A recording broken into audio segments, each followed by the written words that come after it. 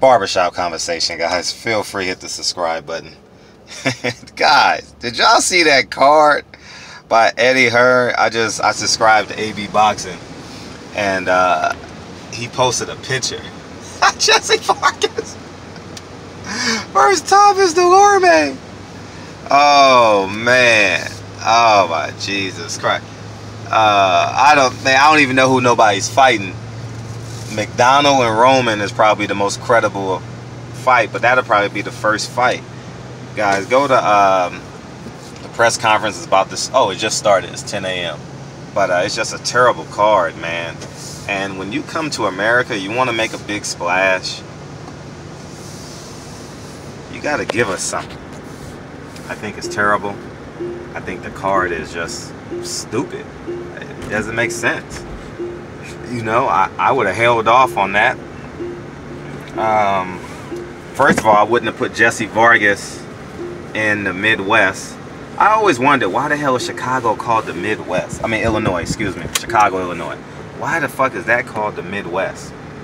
And two, I bet he didn't have no community leaders at the as what he's not abreast as to what's going on in the community 66 people shot and killed i definitely would have dabbed into that you understand? I would have some local officials there, some church members there, and let you know that we're going to donate $20,000, $10,000. You know how many ticket sales that that will give you? You understand what I'm saying? There's just so many ways he could he could have sliced this pie. But uh, I would have put, uh, I believe he's a free agent. I don't believe he signed anyone, but Showtime loves him. Of course, Stephen Espinoza said that eloquently about um, uh, the guy who just fought uh, Fortuna. Uh, you guys know who I'm talking about.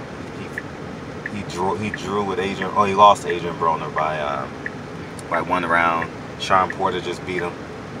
You know I be drawing a blank on these guys' names when I be in these videos, man.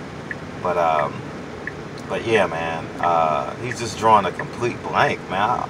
He's whiffing on this one.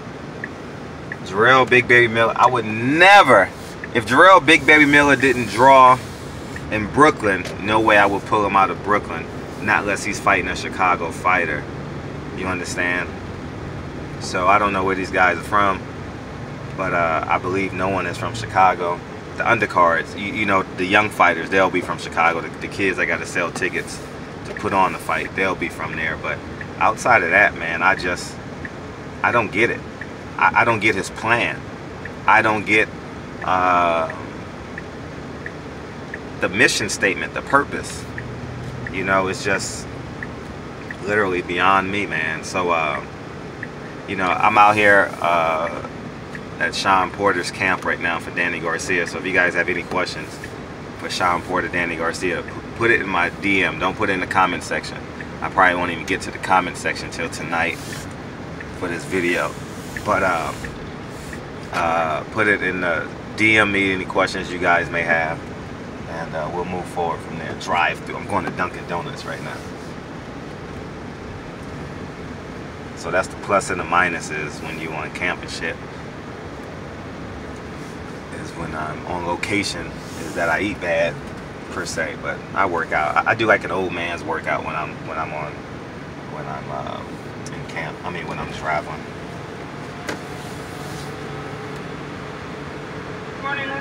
Hi, can I get a coffee roll and a twist and a bottle of water? I can't hear you, sir. Can I get a coffee roll, a twist, and a bottle of water? Else? Twist and a bottle of water. Alright, is that gonna be it? Yes, please. Alright, go and close the window. Thank you. So, but that that card is completely trash. But if you guys have any questions for Shawn Porter, Danny Garcia, I mean, uh, about Danny Garcia for Shawn Porter, or about Shawn Porter, generally speaking, just go ahead, feel free to ask, and uh, slide in my DM. I'll I'll see I'll see it pop up in my DM. But anyways, I appreciate you guys, man. I'll have more in this Eddie Hearn stuff um, as it as the day throughout. But I just think it's a trash card in Chicago. Um, you know, Eddie Hearn's in trouble. Eddie Hearn's in trouble in America. He'll do great overseas, similar to Oscar. He'll do great in this Western region. But uh, in terms of globally, without Canelo, I, I think he'll have problems. Same thing with Eddie Hearn. He should have. He should have. if Eddie Hearn had a plan, he should have finessed his way into America. He should have conned us. You know what I mean? He should have reached out. He should have did interviews on every YouTube channel, every main medium. Just, just, man, appreciating the American market and how beautiful it is, and how he wanted to, how he wanted to build a bridge and connect. The key word is connect, not compete. Connect.